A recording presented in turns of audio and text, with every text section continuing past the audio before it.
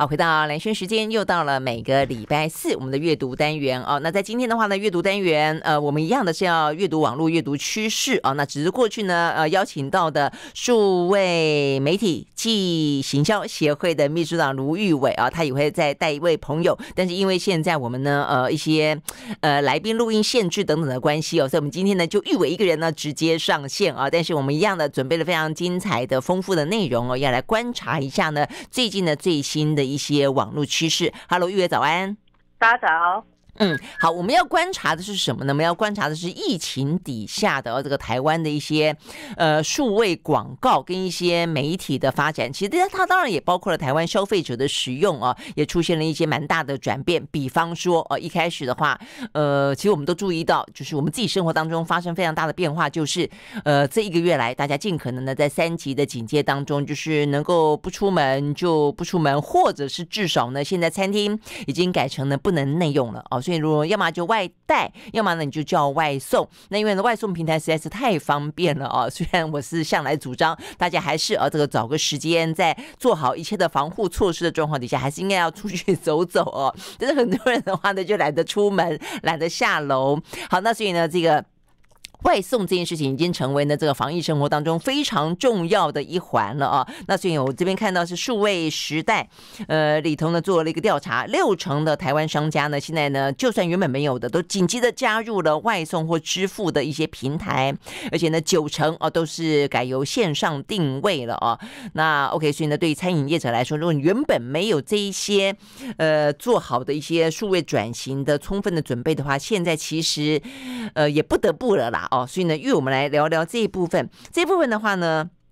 呃的调查，所以也看到很多除了 Food Panda 啦，除了这个呃 Uber Eat 之外，也有更多的线上的定位系统出来了，哎，对不对？对，其实我们在看餐饮业过去，我们在谈数位转型这件事情，多半是发生在餐厅内部的管理。比如说，我们刚刚看到，呃的那个，他们就是透过像是 POS 系统，过去从这种比较呃收银机式的，它变成网络化、网络平台方式，它比较在做的是店内的一些管理，比如看来客数啊，看大家哪个点的多啊。或者是结账这个部分，还包括我刚才讲的线上定位可以看到的是，餐饮业现在在做是怎么样把线上跟线下做一个比较好的一个整合的这样子的一个部分，特别是刚看到的外带外送这么需求这么高的一个情况。那我自己在看这一波的这个餐厅的转型，我觉得对于很多餐厅其实很困难的是，过去我们看到的大部分的餐厅其实。他如果做外带外送的话，比例上来讲，依靠的程度没有这么高。但现在他显然要很依靠说，去对很多的店家来说，其实是一个抉择啦。就是说，一方面你好像不得不加入，但是你加入里面要负担很多成本，其实是呃压力还蛮大的。因为以两大的外送平台来说，它的抽成大概是百分之三十到百分之三十五。对呀，对，真的好高啊，嗯。成本其实还蛮重的啦。嗯，对，嗯，刚才玉伟讲抉择，事实上我觉得现在对他们来说，我觉得几乎也没有抉择的空间啦。呃，因为你除非你相信你的客户会那么的愿意，你的消费者会对你那么的始终到说他会愿意为了你出门 然后去点个外带，那否则的话呢，其实就是外送了嘛。尤其有点距离的话，那只是说，呃，我后来发现，在数位时代这篇报道里面讲到了，就是说你特别提到了像 Uber Eat 跟 f o o Panda，实在是我觉得对于这些商家来说，坦白讲，当然他也想赚钱了，但是我觉得对于这个疫情底下的餐饮业者，尤其是那种小吃店啦、比较小的商家来说，真的是蛮残忍的，三成到四成这样子的一个呃抽成的费用，所以应运而生的是，呃，有一个我看到这边讲到说什么线上点餐的新创业者，呃，一个是 Line，Line 的点餐里面有有一个叫快一点。另外一个是手摇饮的部分，有一个叫做拟定，这两个的话呢，好像他们的呃抽成是少一点，对不对？对，因为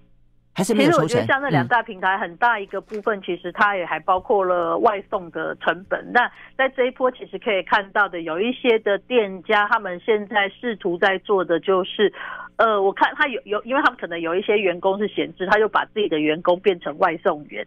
有 有有，你知道我听说最多的是什么？熊市旅游，他现在变得有点像百货，然后他的所有的一些员工都去当外送员。对，就对啊，嗯，看到，然后有一些做这样转型。那再来就是说，我觉得现在对于很多的餐饮业者，他也。重新去思考，我是不是要建一个我自己的一个这个所谓的网络订购平台？因为过去可能它不是那么大的量，所以有些人就觉得那好，那给他抽一点没有关系。但是现在量很大的时候，他也会重新去思考。所以最近我看到蛮多的业者，就比如说他自己想办法去建他的这个线上的这种，比如说用最简单可能是 Google 表单的方式。那个订单进来，然后他再做一些整理。那当然有一些的业者就会开始采用一些新的这种呃线上订餐的一个一些解决的一个方案，或者是甚至可能他自己的这个网站都重新再做一些的调整。他可能包括像是从金流啦、物流啦这些东西，他干脆都自己来做了。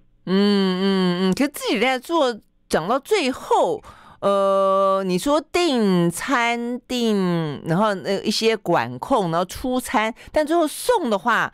是不是还是要得要跟这一些外送平台合作呢？哦，最近就是你可以看到有一些，当然就有变形，比如说像是呃，大家如果有看到的话，比如 Line，他们就跟或者是有一些的这些店，他们就跟计程车业者合作。因为你可以看到，计程车也是受伤还蛮蛮蛮惨重的一个行业啦，所以也有一些去跟像计程车这种车去合作，然后去做一个一个呃转型。我觉得这这是一个还蛮好的一个方式。哎，你这样讲，你知道吗？我我刚好看到这几天有一个报道，讲到说我们的一些客运。有一些客运呢，事实上现在也大家也不太敢搭哦。我说大家也尽量要求说不要出门嘛，更更不用讲说不要去什么旅游啦，呃，去闲晃啦。所以呢，他们就提到说国外哦有这样的一个例子，他们把一些客运直接拿来当做送货，呃，就像是譬如说，对我们现在不是有讲到说什么，呃，很多也因为这样关系，有些什么南货北送啊，也送不上来啦，呃，等等。不过当然，它可能比较难去取代那些低温。低温宅配的哦，但是它如果一般的不需要呃温度保保存的，它市场可以帮忙送货，也是送到一些偏远的地方。哎，我觉得这有道理耶，所以就是很多事情都应该在这个时间点上重新去思考，呃，什么样的所谓的闲置，它可不可以作为另外更有效的运用，对不对？对，所以我说像计程车，他们就变成每个每个礼拜会配送蔬果箱，我觉得是一个还蛮好的一个做法。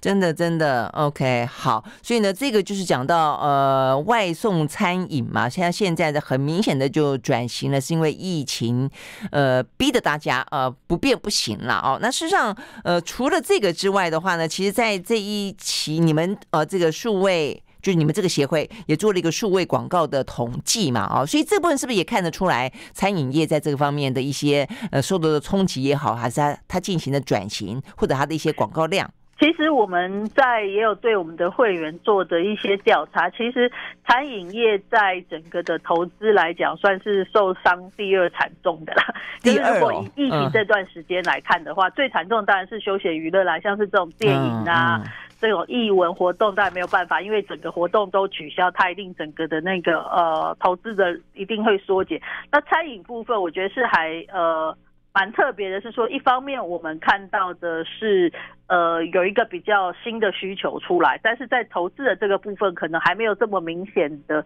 呃增长。那我觉得，当然对于很多的店家来说，也重新在思考，它到底在数位的行销上面应该要怎么做，因为很多的。餐饮业过去其实还蛮地缘型的啦，就是说它可能在那个区域里面，但因为现在变成你要外带外送，你怎么样去提升你的知名度，其实是还蛮困难。因为比如说，我最近也常常在网络上面买各式各样的这种外带的东西的时候，呃，比如说你的品牌知名度够不够，可能是一个很大的影响。因为毕竟是吃的东西，你可能也不太敢。乱订购，然后加上有口味的问题，然后加上说你我真的决定要买了，你是不是有一个良好的一个体验？其实都会有相关呢。嗯，不过你这样讲，我觉得餐饮业有它的一个困难度的地方在于说，先前如果说你要打知名度，过去你想象中它都怎么打？饥饿行销，排队，对不对？问题是你现在哪能够排队啊？你我还记得我有朋友在在在麦当劳，他们呢好像上个礼拜是前两个礼拜，对对对，他们做了一个促销，我是被骂爆了，因为呢他们就说你你是蓄意要造成群聚吗？那他们就觉得说，我也不过就是要促销我的商品，那你可以不要到店买呀，你可以直接点外送啊，或是用这个德来素啊。但是德来素排很长，排非常的长啊，所以德来素也排很长，是不是？那所以总而言之，代表是说它的促销显然是有打到点，是有效果的。但是因为这个效果呢，带来了太多的人群，而且是实体的人群，就反而被骂爆了。所以你说到底该该要促销是不该促销，而且呢传统。统的促销到底在这个疫情期间是好是坏，真的就会变得很不一样了，对不对？对，因为像你怎么样去做刚刚讲的这种外带外送的这种，光是去取餐这件事情该怎么取，可能都会是一个很大挑战。所以我看到像有一些五星级饭店，他们其实也是重新改装他们自己的餐厅，要改成从外带外送的流程来去设计他的餐厅动线。嗯嗯嗯，真的是这样子，而且对，这是一个很重要。比如说，你可以顺利的，你人到了，我的员工就在饭店门口把你的餐准备好，就递给你，这也算是另外一种的得来速，这也是一种。再一个就是说，因为饭店的人力可能比较够，他可能真的就把他的这些员工拿去当外送员，组成一个属于自己的车队。这也是一个方法，所以显然的啊，这个就是在疫情期间了，很多东西真的是穷则变，变则通。不，刚才呢，玉伟讲到说，餐饮业事实上只是在这一波里面看起来，呃，受到打击的第二第二严重而已，最严重的可能是其他的休闲啦、娱乐等等的产业啊。但是坦白讲，如果接下来要呃稍微的从三级的呃这个生活稍微解封的。的话，其实休闲娱乐可能会比餐饮快解封哦，因为餐饮的问题在于说你要拿下口罩这件事情，目前就现在看起来的呃，这个中央的讯息。呃，跟这个双北来看，他们其实都不太主张呃餐饮过早的放松哦，所以对于餐饮来说的话呢，可能面对这个疫情的当下，该做的数位转型还是要继续努力做。我可能先休息会，回来之后呃再来聊聊。实际上，除了餐饮之外，呃，在育儿他们的协会里面做了呃年度的呃这个相关的媒体广告的分析，从里面可以看得出来，在疫情底下，台湾的各行各业到底遭逢到什么样子程度不同的。海啸，那么消费者在里面的表现又如何？休息会马上回来。I like 好，回到蓝轩时间，继续和线上邀请到的啊这个老朋友呢罗玉伟来聊天。我们在聊的呢是阅读网络阅读趋势啊。那这一次的话呢，就是讲到最近疫情期间，呃，其实对于很多的餐饮业来说，它必须要去加速自己的数位转型。那事实上呢，在过去这段时间，其实我们跟玉伟还蛮常聊到的，我们也蛮常找到在第一线的啊这些数位产业，或者说需要去数位产业化的一些呃来宾啊，都谈到说台湾的数位转型。是真的速度有点慢，但这一次的疫情加速了他们的数位转型了哦。那呃，除了这个餐饮业之外，还有哪些呢？从这一次的年度报告里面，可是可以看得出一些端倪呃，这些仙女玉跟我们讲一下，你们这个年度的报告内容大概最主要是什么样的呈现？对我们每年其实会针对台湾所谓的数位广告的量。呃，来做一些调查，那里面当然包括不同的数位广告的类型，那也有包括说像呃不同产业它在这种数位广告上面投资的这个部分。那我们最新公布的其实是二零二零年的这样子的一个部分，就是过去一整年。对，一整一整一整年的二零二，那因为二零二零其实还整体来说是有一些有趣的观察点啊，比如说在这个去年整体台湾的数位广告量大概是接近四百八十三亿这样子的一个数字哦，听起来其实是还蛮大，因为台湾过去我们在讲说一。一整年，包括数位或非数位的这种呃广告的量，过去一般讲大概是呃六七百亿这样子的一个数字啊。但是这几年我们在看这个数字的时候，呃，会有一个重新的思考，是因为过去的这种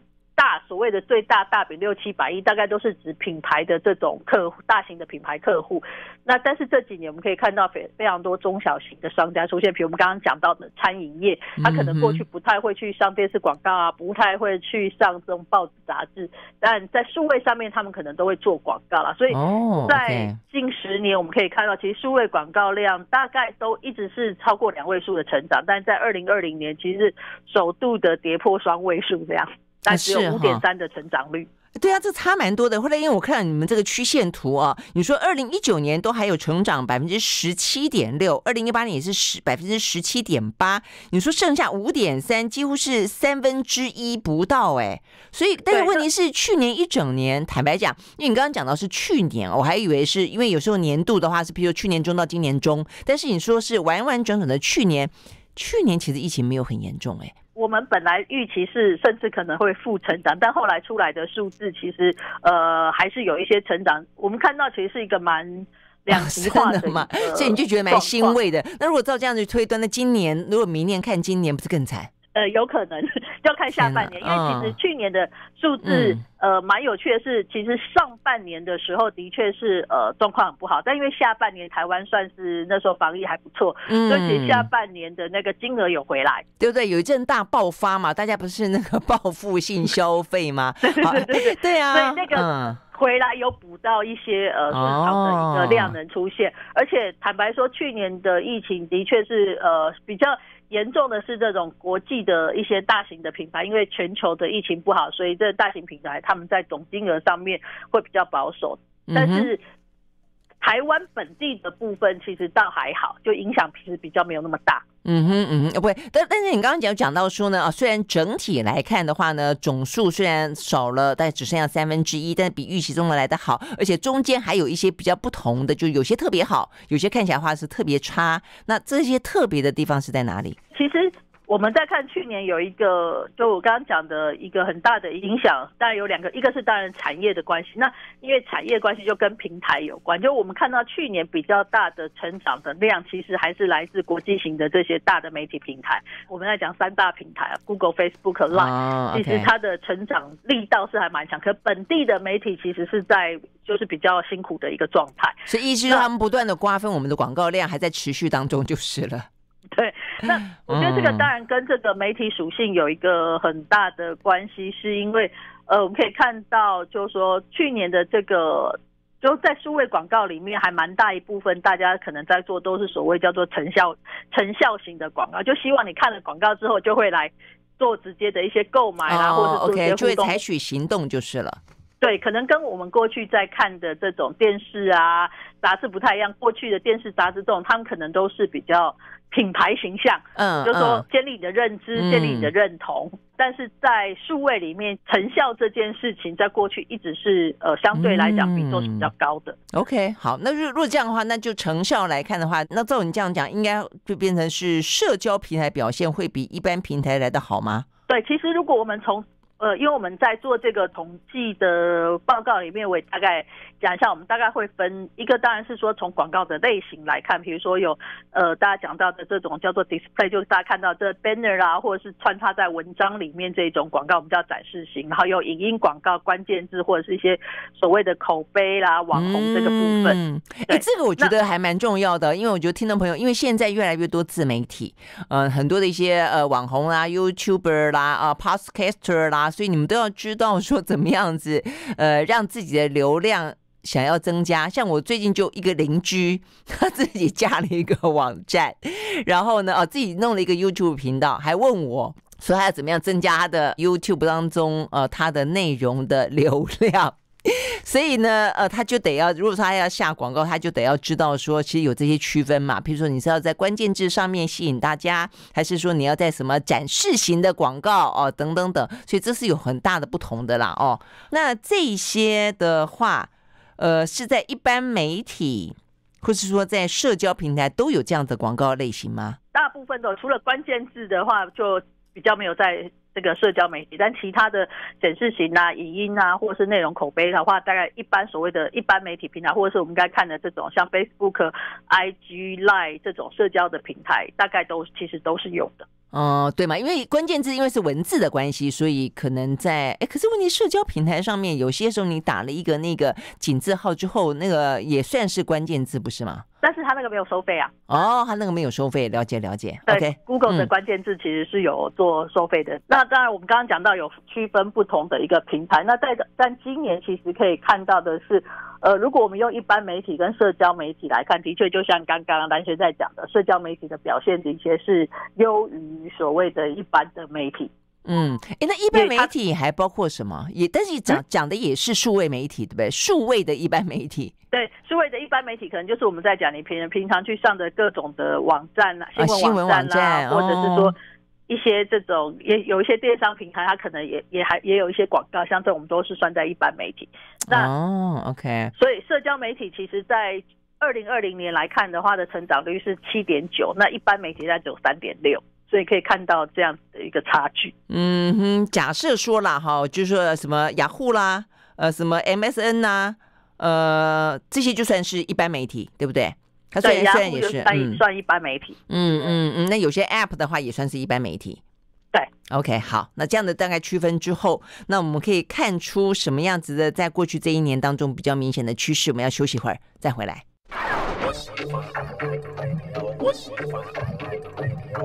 好，回到蓝轩时间，继续和线上邀请到的卢玉伟啊来聊这个阅读网络阅读趋势，了解一下呢目前的媒体啊，这个在所谓的广告的投放上面呢，呃，可以反映出呃不同的一些产业的发展。那还有这个产业当中哪一些哦，可能它投资量高一点，或者是说它在用什么方法呃去进行投资，那达到比较好的效果。所以刚才讲到说，在调查的时候有分所谓的一般的呃数位媒体跟所谓的社交平台，那社交平台显。显然的还是吸引更多的呃这个呃厂商去投注它的广告哦，所以代表的也就是他们可能认为社交平台呃可以达到刚才玉月讲到的成效，呃是来的比较高一点的啊啊，但是呢呃接下来的话就要看看是哪些。呃，哎，我们刚才没讲到说，在你刚才讲到的这个广告类型里面，哪哪些效果是比较好的？就成效来说，其实如果以平台的金额的量来看的话，一般媒体当然还是比较大，但成长的部分社交媒体是比较高的。那如果我们从广告类型上面来看的话，总金额的部分其实还是展示型广告最多。但是在成长成长的部分来讲的话，其实像影音广告的这它的成长的这个幅度还是比这个呃展示型广告来的高。哦，哎，影音广告就是讲到拍短短的那一些像 MV 啦，或者说什么微电影啊那样的东西，对不对？就可能大家在看 YouTube 的时候，可能中间就会插广告进来，就直接插广告哦，那种那种就很像以前的电视广告。然后或者是说，当然也拍成影音的这种短影片，然后你可能放在这个平台里面直接投放这种影音类型的。嗯嗯，OK，所以这个部分的话是成长比较高的就是了。对，OK，那嗯，另外比较特别的是在口碑内容操作方面，就是说网红在二零一九年的时候，我们看到。它整体还不错，但今年在二零二零年的时候，其实网红是有一点下滑的。OK，就是总金额的部分，呃，是稍微有一点衰退。OK，哎，这种可以再去细，可以去细究说为什么吗？是代表它的效果不好了吗？呃，其实倒也不是效果不好，而是其实的确在去年，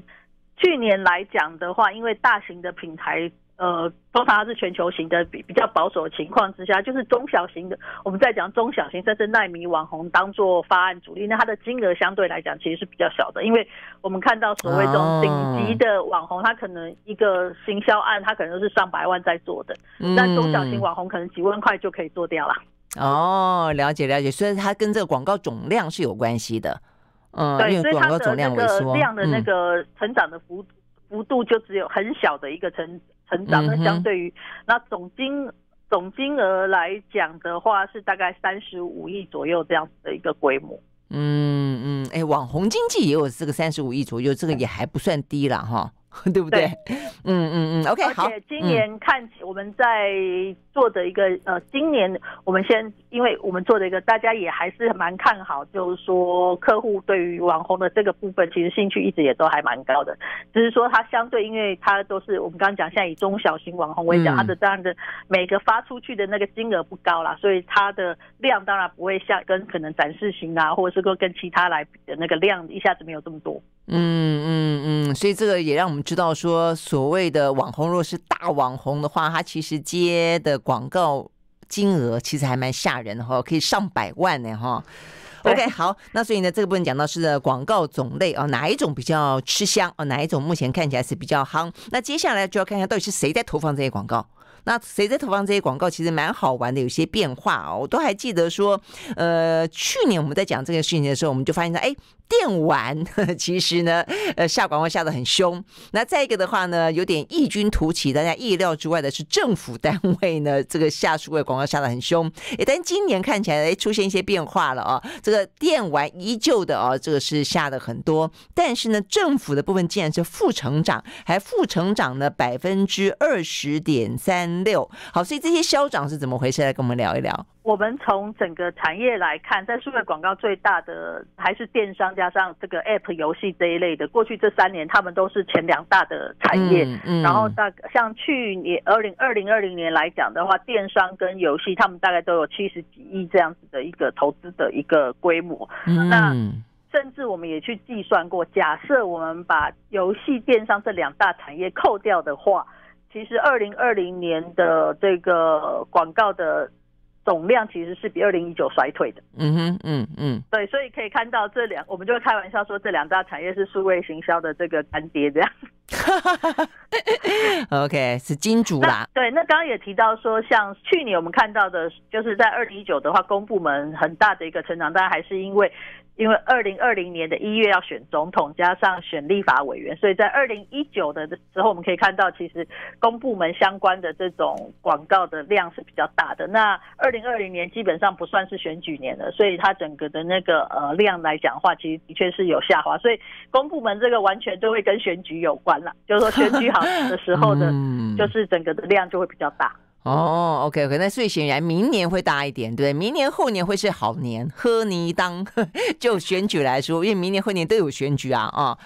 好，对，但是这个也还蛮有趣的，是呃，公部门的有一些的这个，它还是有一些特定偏好的这种投放的媒体，或者是说呃比较喜欢合作的这种代理商了。它也其实不是雨露均沾，好像整个产业大家都可以赚到这一波的钱这样。哦，哎，你这个讲的蛮蛮蛮蛮实在的，是这样的。我们后来发现是真的啊，呃，甚至你就媒体来看的话，它会分颜色给啊，哦，所以。呃，分颜色、分类型啊，这些都是啊，所以呢，这是嗯，政府啊在投放数位广告当中的美美嘎嘎，其实还蛮多的。对，那另外有一个新崛起的产业是医疗保健。在二零二零年之前，医疗保健大家都不会在前十大，嗯，但是在二零二零年开始，它就是首度进前十大，然后成长率也快百分之三十。嗯，哎，这个蛮有意思的哈。它所以这个代表的是，因为呃，医疗本身也在进行数位化，也在进行线上远距，然后嗯，加上。大家对健康比较重视，会开始买保养品啊，这种保健品啊，或者是说寻求各种的医疗的一些协助，所以它的其实医疗保健总金额来讲，其实是不。还是低的，因为它大概就只有十六亿左右，但是那个成长的幅度就还蛮高的。嗯嗯，所以一个是因为疫情的关系，一个是它本身可能数位化的关系。你这样讲，还有另外一个，我也看到了，它这个成长幅度也很高，它是高过于医疗保健，只是说它的金额相对来说比较也没那么高哦，但是它就是幅度成长幅度最高是教育。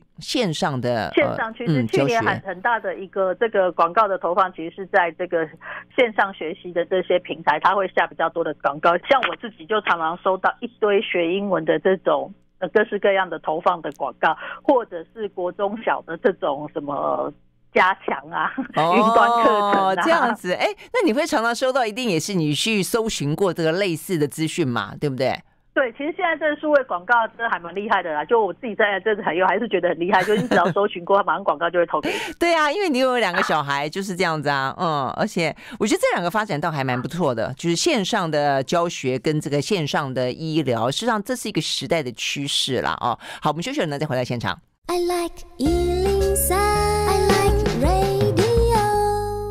好，回到蓝轩时间，继续和线上邀请到的啊，这个台湾数位媒体应用暨行销协会的秘书长啊，这个卢一伟来聊天。我们聊的啊是呃疫情期间我们看到的一些数位广告跟数位行销哦它的必然性。那另外的话呢，就是你必须要呃紧急的提枪上阵啊。那在过去这一年当中，呃整个的表现跟消长各自是什么？那有些当然是跟疫情很很明显相关，有些可能未必，它可能是一个趋势性啊，跟台湾这块饼也有关系。好，那。所以呢，回过头来讲到最后啊，如果说我们是不管是自媒体也好，不管是小媒体也好，或者是说不管你是呃厂商也好，你都要要想要运用这个数位平台的时候，该怎么样去投放这些广告？有什么趋势或者哪一些呃优劣？呃，值得参考的部分。对，就像刚刚呃蓝雪也在讲的，就是数位行销这件事情，当然疫情是一个短期的变数，但长期来看的话，呃，的确在数位行销现在看大家看起来呃可能必须要去做这样的事情，里面有一个还蛮重要长期趋势，可能大家要注意的是，就在我们产业，大家现在非常在讲的，就是所谓的就是叫做 cookie list，就是。过去我们为什么刚刚讲到你只要查询的一个事情，好马上广告就可以投给你？那是因为在这个机制里面，它可以去追踪所谓的在在你的上网的这个网站里面，它其实都有买一些追踪码，所以其实它可以去分析你的路径，就知道说你喜欢什么，它就投放给你。但是因为在这呃过去这一段这一两年里面，包括一些大的这种浏览器业者，他已经宣布他要推。清除这个所谓的是欧美的资料，反垄断跟隐私，嗯，隐私权的一个保护的这个部分。所以，对于过去的这个呃广告业者，或者是说对品牌最大的一个痛苦，就是说我现在不太容易知道这个消费者去过了哪些地方，他没有办法做那么精精准的比对。那当然，对于呃业者来说，就说你的广告的效果可能会比较差，然后你可能要花的金额会比较高。所以在这个的情况之下，最近大家一直在谈的就是说，如果你接下来对于数位行销这件事情想要投入的话，怎么样把你自己本身的会员资料跟这些数据去做好，其实是一件还蛮重要的事情。哦，了解，就是说以前你可能要呃去依赖这些平台给你这些涉及隐私的资讯。那过去的话，因为没有法令的规定，所以他们也都乐于呃跟你分享，或者甚至是拿钱让你去买它。但现在的话呢，你得要自己去建立，否则的话，你可能基于隐私政策的关系，呃，这些平台这些那么夯的这个美国的什么 F 五，它也不被允许呃这样子去分享，所以他想要从中间图利，他也很难。应该是说，呃，他还是会提供一些数据，但是这个数据就已经没有那么准确了，所以就变成说那。如果你自己不知道你的客户的一些需求的话，其实你在投的时候可能就会你要花更多的钱，因为你要接触更多的量，你才能够去做一些的比对拼凑之类的。嗯嗯，哎，可是我本来都觉得哈，因为我每天也在看这个相关的讯息，确实，尤其像欧盟抓的特别的紧啊，所以我都会觉得说，但是我老是觉得说，上有政策，下有对策，他们真的会这么乖吗？如果说这是他们的金鸡母，就是你拿着呃你的消费者在我这边留下的足迹呢，可以把它换成一个像金矿。一般的东西卖给别人，他怎么会愿意割舍哦？但是听你这样讲，好像他真的确实他有做到这一点，就是他确实有去保护他的消费者的使用者的隐私哦。应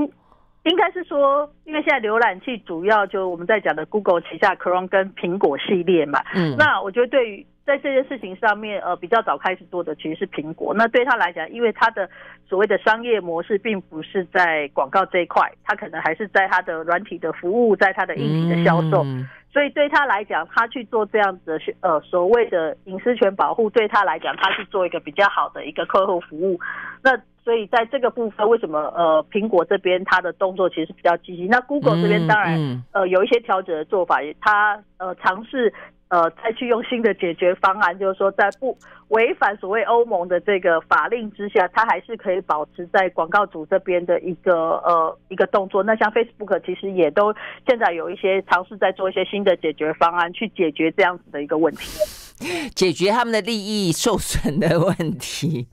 好，好，所以呢，OK，好，在短暂的这样的状况底下，在还没有发展出新策略之前，目前的话，大家可能就要有一些应应，就是刚才月特别提到，你要自己去建立你自己的客户客户的资料啦，对不对？嗯，对，就是说。你至少了解他哪些客户，比如至少你的忠诚客户很重要。就像我们刚刚在讲的这一波，像餐饮业为什么有一些会很比较辛苦，是因为他过去可能他连他的客户是谁都不知道。你就算要做线上外带，你可能都没有办法把消息放出去，你的忠实客户怎么知道你有什么样的一些新产品的一个推出？嗯哼，OK，好，所以呢，这是一个你的建议。那还有吗？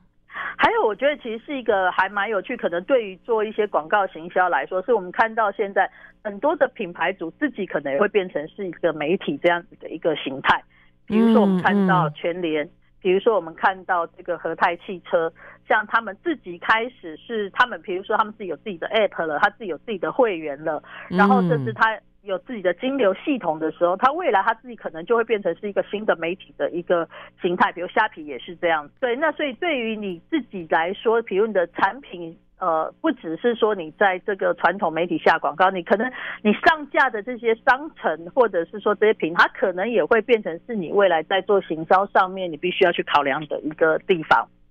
嗯，所以你的意思就是，他们自己有了会员之后，他们其实就自己在自己这个会员的圈圈里面，这个池子里面就自己做起行销来，做起广告来。所以这个是一个。再一个就是说，他去选择什么地方上架，是这个意思吗？呃，应该说，如果我今天是一个呃产品的供应商，假设比如说我在全联，或是像这种，不管是全家 seven，大家现在都在做整个所谓他们自己的一个生态圈的时候，对对，也有可能你的广告不是做在一般的媒体上面，你搞不好是在他的这个 app 里面，你可能就会去思考怎么去做一些广告的一个投放，然后搭配你商品在他这边上架怎么上架，然后有什么优惠。我觉得这个其实是对于呃媒体来说又是一个新的一个冲击呀。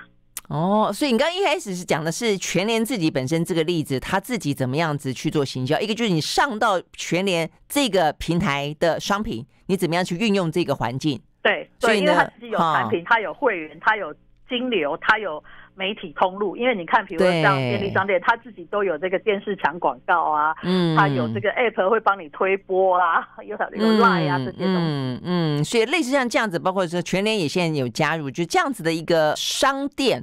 就越来越多了，就类似把自己当媒体，自己当平台。自己也去做销售的，嗯，所以我觉得对于这有几个一个部分是，如果你自己是比较类似零售通路形态，比如像他们开始很，我看到越来越多的自己也去思考，我自己怎么把我的生态圈去做丰富。那当然，对于你是品牌供应商来讲，你也要去思考你未来的策略怎么样在这种里面去做平衡。那还有就对我们自己的会员的这些代理商啦，或者来讲，他也要出去重新思考，是说我的这个在做很多广告的这个策略上面，我要怎么样做一些重新的一个调整。那当然，对于消费者来说，你又变成你可能会接收到更多的广告。对我只想讲，就是我现在这样子，对于很多的提供商品来说，你的平台越来越多，越来越多，几乎基本上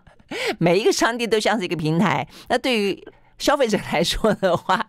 你去的商店越来越多，也代表他会提供给你越来越多的讯息，对不对？对，然后经销人员就越来越痛苦，因为有太多平台要管了。真的